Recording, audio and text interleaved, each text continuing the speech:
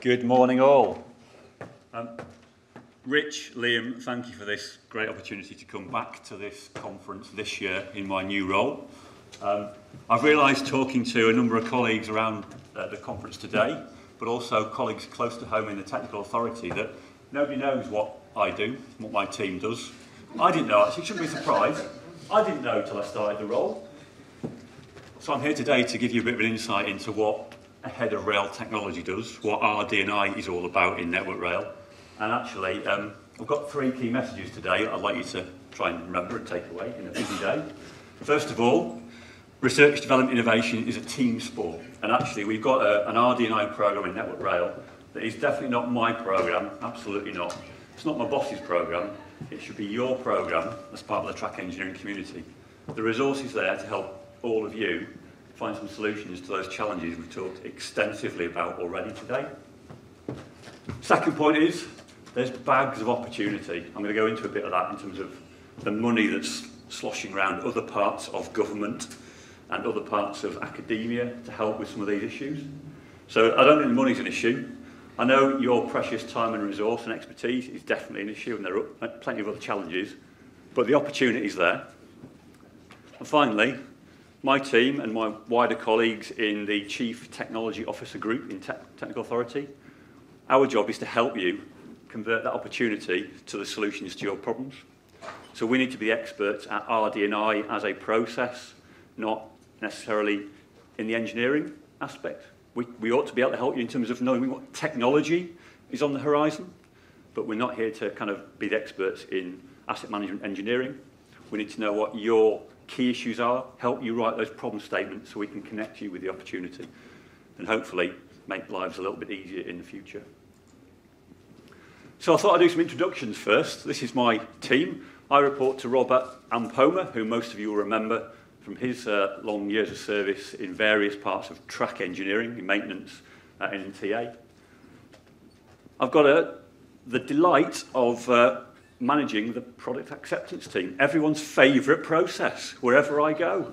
Supply chain, inside Network Rail. Everyone loves it. Nothing wrong with it at all, is there? Um, my team, actually, they're a, they're a really great bunch of guys. They work really hard to try and demystify the process. If you've got any queries about it, you contact me afterwards or Roger Moore. Very happy to come and give a little presentation or briefing on how to navigate the, uh, the really simple, straightforward transparent process that's PA. I've got a head of, head of uh, comms or a, a comms manager. And we talked earlier about getting the good news out there about the kind of things that we, you're doing as a track engineering community. I think I can provide a bit of support there. So Carge does a lot of work with colleagues in the research and development team to get these sort of events together.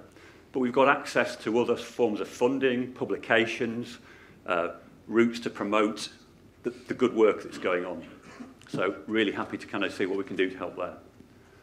Mark Gaddis, um, international man of mystery to most people. This guy is actually an absolute genius at his job, which is going out and finding opportunities to get co-funding or third-party funding to support our research and development. He's leaving in June. I've got to replace him. I don't know how I'm going to do that, um, but that's one of our big challenges. And then James Heslop, the head of strategy, and I'll just click on a, a slide. Uh, I'll come back to that one. In terms of my role and James's role, these are kind of the key elements of it. But really, it's all about connecting you, connecting other parts of Network Rail. So we cover all aspects of Network Rail in terms of uh, functions, regions, and disciplines with those opportunities. We've got to be a bit disruptive, so we need to look further forward, look what technology is developing on the horizon, and then present that back to the business to say, we think we can connect you with some of these opportunities that help solve some of those challenges. Um, the middle column, the bottom part, that is really key for me. We're here about brokering those opportunities for funding, for resource, to connect with those problem statements. And then the final column in this slide, promotion. So yeah, really key. We get the message out there. It supports our, our reputation with government, with funders, with the regulator, and allows us to, uh, to build a kind of confidence in the way, as a, an organisation, we're adopting new technology and, and moving further forward in terms of addressing those challenges that we spoke about earlier. I'll come back to product acceptance, a bit about what it is.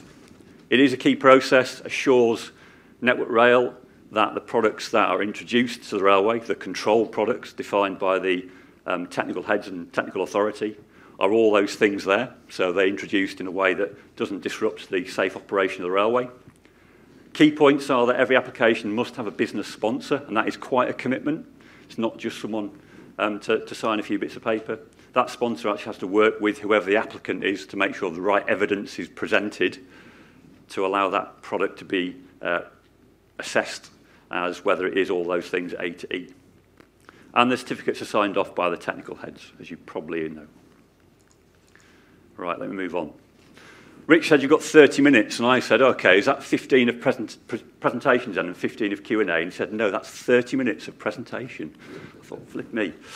Um, so, a little bit of a quiz. I'm doing it the old-fashioned way. One of the pitfalls of submitting your presentation last minute is you don't get to play around with Slido. So, question one, how much R&D funding do you think Network Rail was awarded in CP6 by the regulator? And the clue is it's not D. I included D because one of my new colleagues keeps saying, oh, it doesn't matter if we just get £4.20 in CP7, we can still, you know, make some good progress. And I have to keep telling him that's not the attitude. So, um, hands up if you think it's A, that we had £145 million of funding. Oh, got a taker at the back there, a couple down here. What about B, 245 million? Oh, yeah, many more of you here. What about C, 345 million? Very good. Well, the majority of you are correct. 245 million pounds of funding. Massive amount of money. And we've supplemented that by 63 million pounds of co-funding from a variety of sources that I'll come on to. Um, CP7, I can now pretty much confidently say will be pitching for 165 million pounds of funding. So a substantial cut, but the right thing to do relative to all the other financial challenges the railway is facing. We heard about some of them earlier as well. Still a huge amount of money, still massive opportunity, and we're targeting 70 million pounds of co-funding to top that up and leverage uh, what we do. But a question mark I've got is what else is squirreled away in the regional funding? It's not necessarily obvious in some of the regional CP7 plans, but I know it's there. And actually, working together with this sort of national pot and the co-funding, we can probably, you know, the, the totality is greater than the sum of the parts, if I get that right. Um, so yeah, let's, uh, let's see if we can collaborate and, uh, and work on these programs together. Question two, what does the term rural stand for? So is it rail invention readiness level, A, rail innovation readiness level B, rail industry readiness level C, or rolling in real loot D. so A, anyone for A? Hands up if you think it's A. Nobody, maybe too good at this. What about B? Anyone think it's B? Couple of takers. What about C? Oh, this is great news. I can, I can give up now. Anyone think it's D? Jade, I think it's D.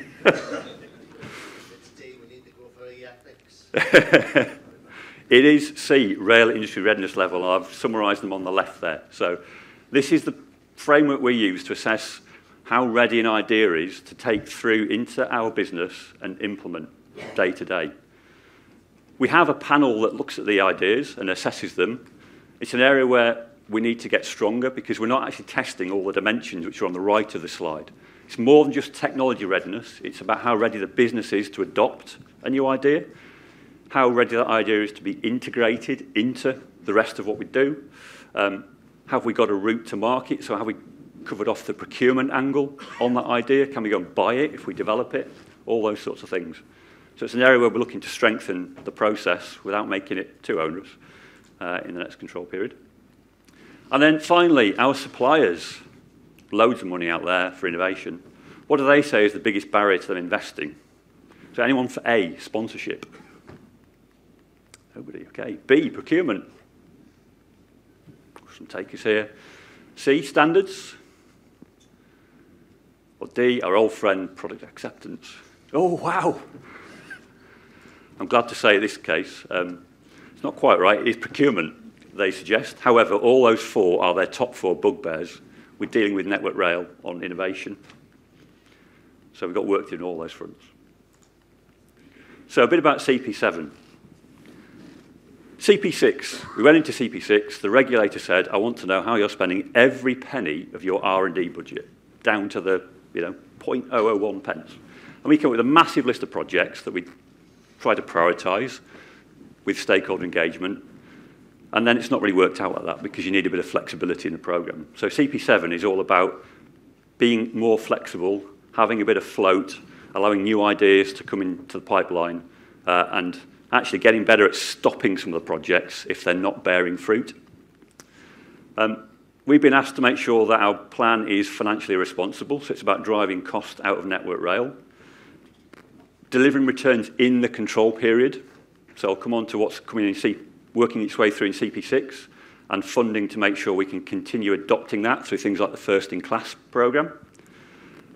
Really important though, it's priority led, so it's your priorities have to drive this programme um, which means that the kind of commitment we're asking for is all those aspects of sponsorship, commitment to investing in ideas should they start to bear fruit, commitment to adopting the new technologies and new knowledge that's generated through the programme. So making sure this is focused all the way through to the end point of deployment. So we achieve Network Rail's business goals, and then my team do a bit of a job with our external stakeholders, making sure they can see the line of sight through to government objectives, through to the rail technical strategy, etc. Again, just to give them confidence that we're spending taxpayers' money uh, carefully and there's been value for money for it through the research and development. To help this, we've developed these, on the left, these eight business-led themes with our SSB, because we've been asked to make sure that whatever we're doing and whatever our SSB is spending money on, there's a clear line of sight to we're not duplicating effort. We, we clearly understand who's leading, who's supporting in certain areas, and also the line of sight back to the rail technical strategy, and I'll come on to that a bit later. So these themes, I'll just display them slightly differently. Eight themes, 49 capabilities, targeting not specific technologies, but just some of those future capabilities the industry thinks it needs to develop. And actually, these aren't too different from what's in previous iterations of the rail technical strategy. And that's one of my bugbears, is every five years we seem to have to reinvent this particular framework when it should be a continuum. These things don't change much. We just maybe refocus our priorities. But actually, from CP7 to CP8 to CP9, I'd like us to just have a research and development plan that spans the ages. And actually, CP8 R&D planning will just be pressing a button on the date we need to submit and out spits the list of prioritised programmes with everyone's support. In these areas, as Network Rail, from all the feedback we've had from regions, functions and disciplines, we think we'll be leading the R&D for the industry in themes 5, 6 and 7, which probably shouldn't be too surprising. We think we'll be partnering strongly in themes 4, 5 and 8, and we think we'll be leaving it to others to lead and put in most of the horsepower under themes one and two. Again, partly shaped by a more limited R&D budget and having to carefully prioritise where everyone's efforts go. In terms of those eight themes and that 165 million pounds, this is a likely allocation of that budget across those themes. So again, probably not too much of a surprise, but theme seven, optimize resilient assets, builds in weather resilience, builds in um, some of the sort of remote monitoring requirements, builds in some work to address obsolescence risk around our assets. We've got the biggest level of spend. And five and six as well, digital signalling, more automation of processes, significant spend. But we're also trying to carve out some um, investment in things like digitalization and data, where there's more of a strategic element to our R&D program required. And then we're looking at different ways of delivering some of the R&D as well. So you may have heard of first-in-class funding. The Felix is a robot that's in the, uh, one of the display rooms is a great example of where CP6 R&D funding is being used to take the idea from uh, an operational concept to properly embedded in a limited way into our business as usual. And so because of the focus on delivering returns in CP7 from the investment, we expect around about 35% of the budget to be focused on taking high readiness level ideas and adopting them in parts of the business. That doesn't need to be ideas that have worked their way through our entire R&D process. As routes and regions, you can, you can come up with ideas yourself. You might have seen something that's pretty close to being ready to deploy in the railway, and this funding is there to help take it that last step as the, uh, as the operational trial, BAU, deployment that gives everyone confidence that idea delivers the business benefits that everyone thinks it does and provides the, the playbook or the, the, all of the elements uh, documented that show others how to adopt the same idea with success in their part of Network Rail. There's also a lot of um, funding here that might be directed towards these partnering opportunities. So whether that's in the UK, whether that's across Europe, further afield, taking cognizance of what's been said already today about needing to learn from others and making sure we keep up to date with, with what's happening in Europe and further afield in terms of their knowledge of better ways of working in maintenance or renewals uh, for, for track. So a bit about how to access the funding. Slightly simplified perhaps, but let's say you've got an idea. There is a group of people called the Track ALG, um, which is uh, your regional track engineers and John Edgley and our uh, heads of S&C and track, Rob Lacey and Steve Franklin, that discuss these ideas, give them a bit of a technical peer review, but if supported, we'll take those ideas forward then to our National R&D Board for financial approval. Yes, there's an investment panel step on the end, but provided it's got the an idea has got the approval of those first two stages, the investment panel should be relatively straightforward. Robert Ampomah's team have pro program managers, project managers who can help you navigate that process, can do all the legwork to make sure that idea at least gets to the various stages of this process. So Tom Edge for track is your program manager. Uh, and Daisy and Johnny and Greg are our three project managers. They're all there to help you. If you generate some ideas, you've got a problem that you need to solve, take that through this process. Now, a word of warning, once the project starts, things do get more complicated. It can get uh, less transparent about how to take an idea through the various rail industry red readiness levels, but that's something that we're working on to try and demystify that part of the process too.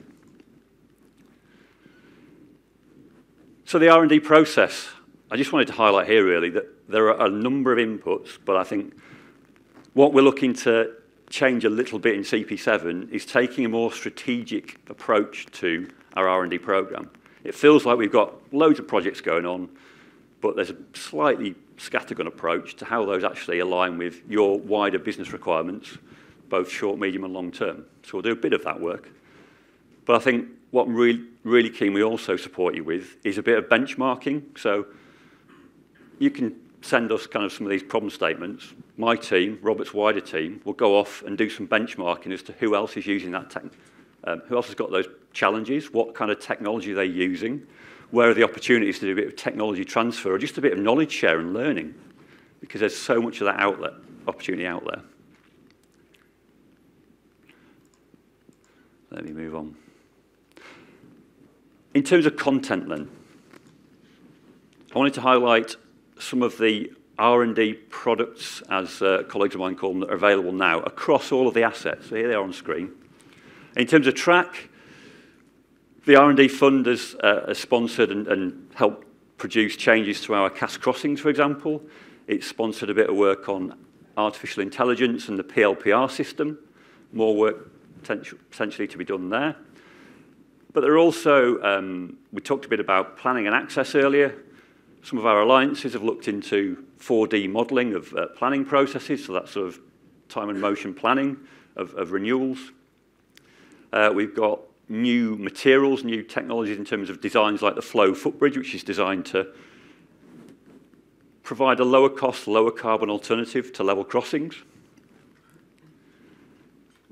So I think there's opportunity in here to take some of this technology and transfer it into the world of track. And again, it's Robert's team's job, my team's job, to look for those opportunities and come and present them to you and say, does this fit your requirements? Is this something that you know we could make work. These are some of the products entering this first-in-class deployment phase. So Felix is at the bottom right there. Um, we've got other, you'll see the um, bottom left, this intelligent asset health monitoring. There's a stand in the, uh, one of the exhibition spaces on this, which is uh, more technology to understand um, on a continuous remote monitoring basis the condition of some of our structural assets, potential to be deployed across a range of assets, not just the uh, station portfolio at the moment. Panoptic bridge management, this is flying a drone around, around our structures, capturing the video technology and artificial intelligence, highlighting defects for engineers to then make some decisions on.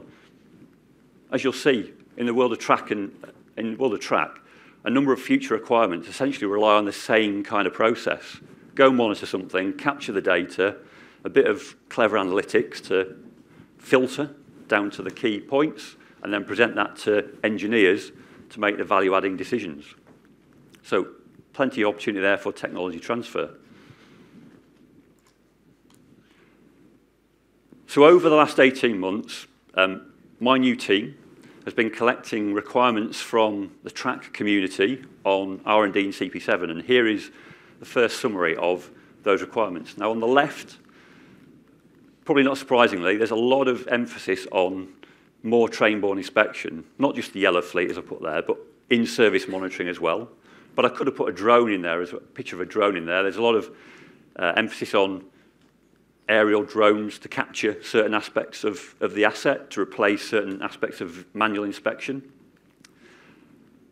At the kind of more blue sky end of the work, the rail stress measurement, so uh, still a requirement to look into can we non-destructively test the condition of rail stress. I know it's quite a challenging technical project. But not surprising, yeah, more train-borne measurement, but all of that will rely on, or produce more data. We need to know how we're going to capture that data, how we're going to store it. We need to be able to align it so that you can have confidence that all these data sets build up a, a, picture which you can have confidence in about the, the root cause of certain faults on the asset. On the right, remote condition monitoring. Fewer sort of applications emerging immediately, but certainly a, a, a need emerging from conversations to have more of a strategic view of this in terms of track engineering. So what is it we want to measure? What kind of parameters, what level of accuracy, what level of reliability? How do we look after the remote monitoring itself so it doesn't fail? All that kind of good stuff. And I know there's some really great work going on with hot, hot weather monitoring, um, which was started probably 18 months or so ago, um, to look at ways we can automate some of the roles that the hot weather watch person does. Not surprisingly, very much an emphasis on decarbonisation and weather resilience, as we've already heard. So that's good news that some of the priorities making their way through to the CP7 programme are targeting those challenges. I know already, as John said, Track is leading the way on decarbonisation of assets. There's some great work going on in terms of concrete sleepers, um, composite sleepers. We're actually leading the way in terms of other sister organisations around the uh, kind of cross-sector view. National Highways, HS2, are behind us in this space. So the work that you're doing as a track group there is, is, is definitely forging ahead of many others. In terms of data management, so on the, on the right, as I've alluded to, there are opportunities being highlighted through the, the conversations we're having to introduce more automated processing of different data streams, whether that's video, which is a common theme across a lot of the disciplines, um, whether that's some of our more conventional means of uh, uh, data sources. And then how do we use that data to make sure that some of our analysis and risk man management is improved? So further development of TrackX, for example, is on the cards. Um, and gauging itself, so continuing the work on gauging. And finally, uh, in terms of plant there's quite a strong push from the alliance will from capital delivery, to look at ways we can improve our renewals process. So how do we automate more of that process? The regional engineers have highlighted the challenges with high output equipment and what options are there to develop a renewals capability that aligns with our railway and the access that we get to renew it. So those are kind of the, the main things emerging from the requirements we've captured around track engineering in Network Rail. They'll be taken to the ALG shortly for a further test and further prioritisation. Um, but the idea will be once this kind of uh, set of themes are agreed, then our mobilisation team for CP7 will help parts of the business write the requirements, the remits for these projects, and they'll enter uh, the, uh, the pipeline and get funding in CP7. But what else might shape RD&I? I thought I'd have a look at this. We've got a rail technical strategy across industry. It doesn't need to change. It's, it's got a kind of a sound vision, and, and, and these are the five goals, and then in the detail are the kind of vision statements for a 2040 railway. I've not had too many people disagree with this, but what there is is a, is a yawning gap between where we are today and how the industry has plotted a course to that vision. So we want to try and address that as far as we can um, and understand what that course might look like so that it might give us a better idea in terms of that continuity of R&D, where we put our efforts and how we demonstrate to uh, the government and, and the regulator that we have got a long-term plan and, and there is sort of a, definitely a course that we're plotting. I won't major too much on this because it's been talked extensively about this morning, but I'd like to understand from you all the challenges that have been raised and the questions and, and the previous speakers, how you want to feed that into this opportunity to invest a little bit in innovation, in ways of working, as well as some of the products and, and, uh, and technology we use. It's not just about the, the bits of kit, this program, it's about the ways of working as well and the knowledge that helps change some of that. I thought a bit about one of my old chestnuts, the bow tie. So I think this is where research is great if we, do we know enough about the failure modes? Do we know enough about how those failure modes change with our future environmental challenges, for example? Research is brilliant identifying um, and investigating some of those kind of problems. We're doing a, lot of research with universities, I know you, as a track group, into things like lateral stability of, of our existing sleeper designs, which will then allow us to redefine some of our risk bow ties and, and other risk controls. There's great work going on looking at curving rules, for example, and the assumptions in standards around curving rules, which are, you know, predate modern rolling stock by many, many years. So let's test those assumptions again. And, uh, and, and the last example I'm aware of is work going on looking at our track geometry intervention thresholds and, and, uh, and response timescales. Again, because we've got new technology to under, try and analyse the failure mode and decide whether those controls are the right controls for us in future. I think too often we tend to jump to a bit of technology that, on one of those controls as the solution, perhaps not understanding the, the, the problem as well in the first place. Oh, that's good. It's stuck on that one. Have I run out of time, Rich? Okay, uh, where are we? Last one then more opportunities. These are some of the organisations I now work with in my new team. As Network Rail, we spend about £10 million a year with Ukraine universities. There is a framework agreement. Please come and tap into it. We, if you've got problems you want researching, my team, Robert's team, can help you get some funding, can help you access the right expertise uh, to, to look into that research. Connected Places Catapult, Manufacturing Technology Centre, organisations we sponsor, we subscribe to, that give us access to experts in some of these technologies. So again, hopefully we can help you target some of that resource at the right opportunities. ProRail, so back to some of the European contacts, just been talking to ProRail about S&C measurement from a train. They've been doing it for years. They measure four and a half thousand switches twice a year with an inspection train masses of learning there if we want to introduce the same sort of technology. We can build on. We can go and see their train. We can go and look at their uh, user interfaces and see if it's the thing, the kind of thing we want or how we adapt that for, for net, network rail use.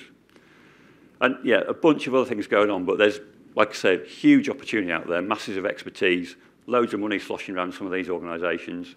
Um, I want to help you access some of that to address some of the challenges you've talked about. Last slide those three messages. my team are here to help. Loads of opportunity. It should be your program. I don't want to kind of define the program for you, but I want to make it work for you. Thanks.